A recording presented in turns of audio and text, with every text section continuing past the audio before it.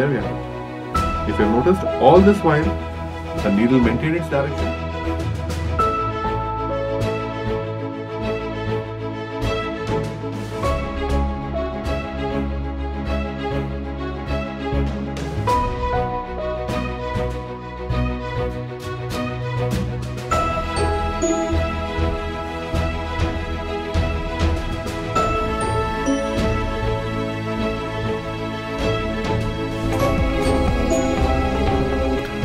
Keeps on going. Okay, so as they go and functional,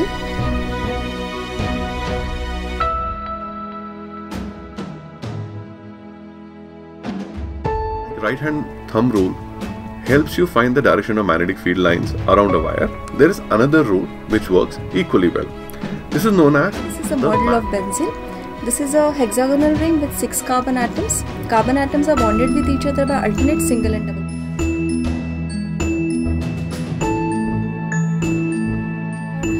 Consumers, higher order consumer, decomposer. All of this they come under. So as long as I was moving the magnet, so as long as I move the magnet, the magnetic field linked with the coil changes. So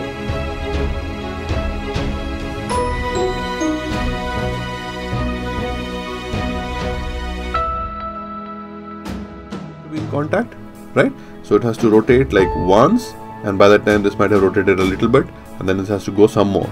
Now how much more? Okay. Now see, in order for this to rotate completely, this point should go through 2 pi r. Right? So the distance passed through it, so to speak, has to be 2 pi r.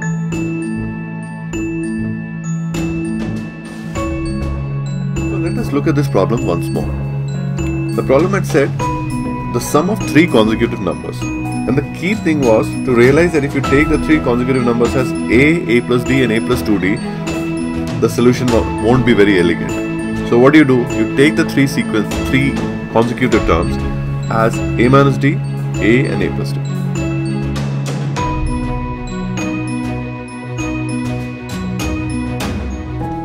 It is advisable that all the problems that you see, first you attempt it yourself and then see the solution. So here onwards, you see a problem, you pause, attempt it, and then see see the solution. All right.